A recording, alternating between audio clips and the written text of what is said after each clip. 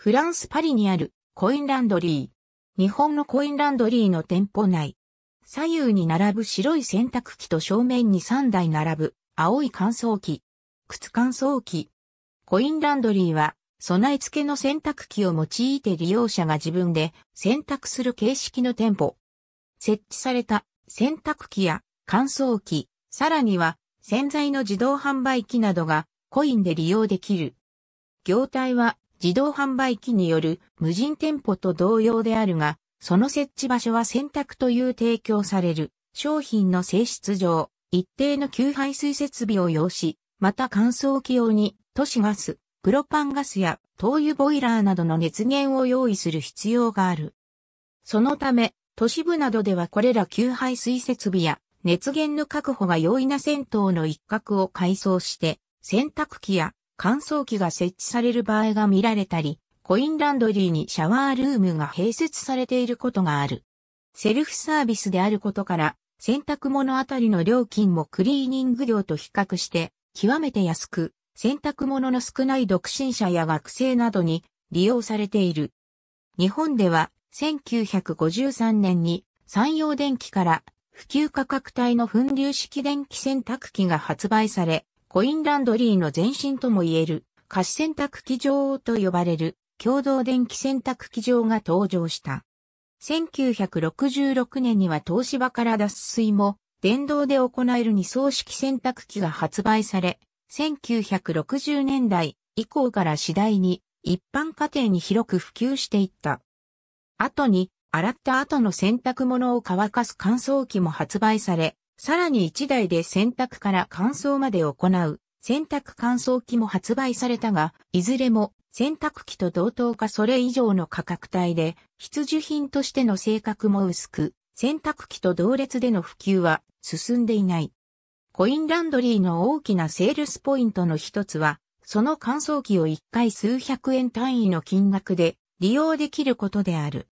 特に浮きや梅雨などの気候的な問題から洗濯が難しい季節がある地域でも数十分程度で洗濯物を乾かせる乾燥機の利用価値は大きく、特に家庭の事情から乾燥機が購入、設置できない場合に、これらコインランドリーの乾燥機が重宝される。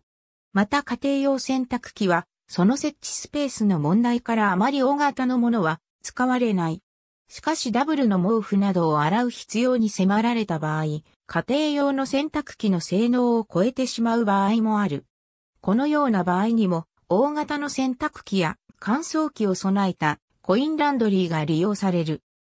1970年代以降の大都市圏において一定の増加を見せたが、1990年代以降では地方都市などでも独居者が増加する傾向にあり、それらを顧客として小規模な無人店舗が数多く誕生している。また、ドロップオフと呼ばれる店員が客の代わりに選択を代行するサービスを提供する店舗もある。1980年代以降、都市利便性の向上に伴って都市部への流入人口は増大、アパートやマンション等が増加する傾向のある日本では、ワンルームマンションやアパートに多くの人が生活しているが、洗濯機はモーターの騒音の大きく振動音が響きやすい深夜などには稼働させがたい事情がある。このため洗濯機を所有する独居者にあっても、コインランドリーを利用する場合が見られる。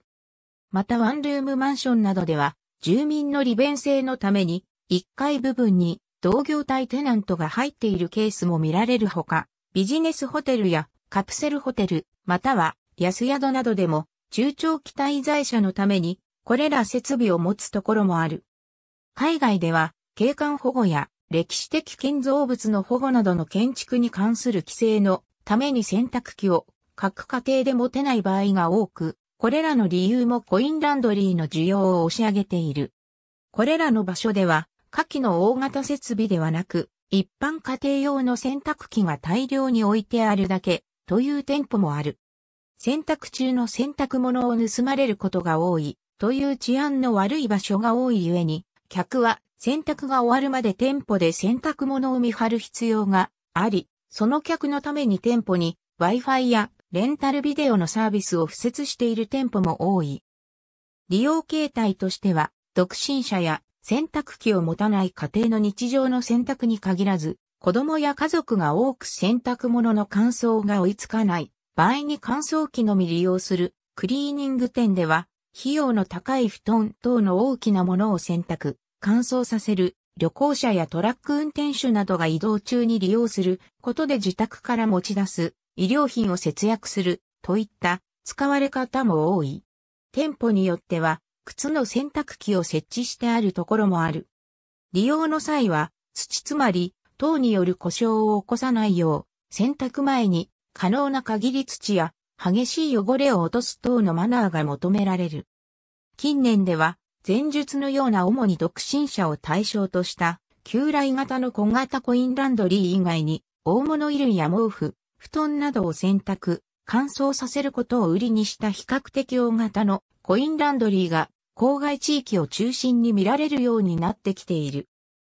また、モータリゼーションが高度に進んだ現代の日本では大量の洗濯物や毛布などをコインランドリーまで客が自ら運搬する手段として、主に自家用車が用いられるため、郊外型のコインランドリー店舗に求められる要件は、普通車10台前後が同時駐車可能な規模の駐車場と数十坪程度の規模の店舗スペースがセットになっているロードサイド店舗というコンビニエンスストアとほとんど同じものになる。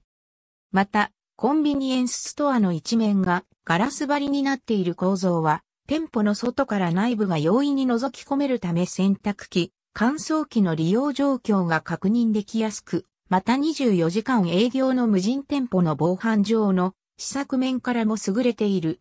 このこともあり、主に郊外部では、コンビニエンスストアの撤退後の空いた建物や店舗を紹介増してコインランドリーが開設されるケースが多い。設置場所としては、銭湯の併設、交通量の多い通り沿い、駅周辺、商店街等が多いが、需要次第で住宅街の一角にある場合もある。このように、コインランドリーには、コンビニエンスストアに限らず、小規模店舗の撤退した空きテナントなどといった既存の有給店舗スペースが利用されることが多いため、一般的に洗濯機、乾燥機などの設備機器は既製品の店舗用ドアならばそのまま壊すことなく、通せるサイズに設計されており、乾燥機など大型の機器でもいくつかのパーツに分けて、店内に搬入し、組み立てることを前提にした設計になっている。日本初のコインランドリーは、1966年5月に東京都北区の銭湯、加賀浴場に設置されたもの。近年では多忙な人をターゲットとして、ウェブサイトやメールにて施設の空き状況を同時に知ることができるコインランドリーも登場している。他の施設と併設されるケースも見られ、先頭以外にもコンビニエンスストアやガソリンスタンド、高速道路のパーキングエリア、パチンコ店などに併設されている場合も見られる。それらのケースでは、コインランドリー内が施設内から見渡せるようになっているため、盗難被害に相がたいほか、飲食物の自動販売機があったり休憩所が充実しているなどの利便性がある。逆に、コインランドリーが主体でカフェやペットの洗い場、幼児の遊戯スペース、宅配ボックス、マッサージチェアなどを併設して集客、収益力を高めようとする例もある。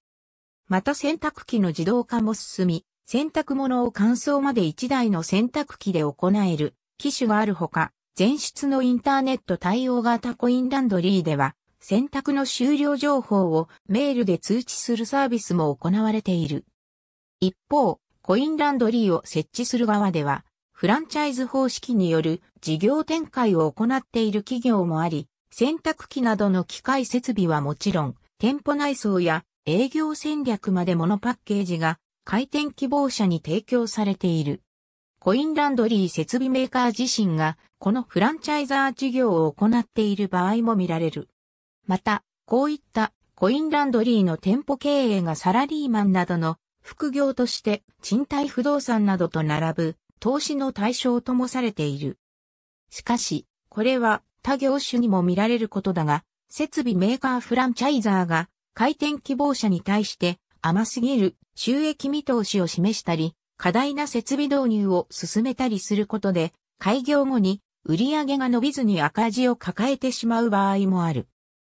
特に独身者が多いアパートマンション密集地域での営業が理想的だが、その一方で住宅地に進出し始めたこれら店舗では、大型洗濯機や乾燥機などで家庭内での洗濯と差別化を図るケースも見られ、中には掛け布団が洗える大型洗濯乾燥機を備え、家庭では洗いがたい布団が原因のハウスダスト軽減を謳うところも登場している。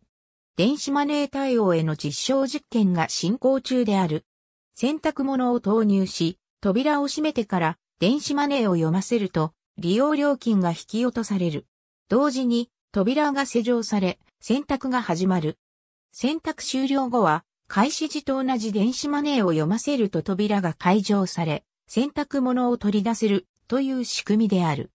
店内で現金を扱わないようにすれば、コインボックスを破壊する、現金盗難も洗濯物の盗難も防止でき、消費税の税率改定などで値段が細かく買いやすいなど、利点が大きい。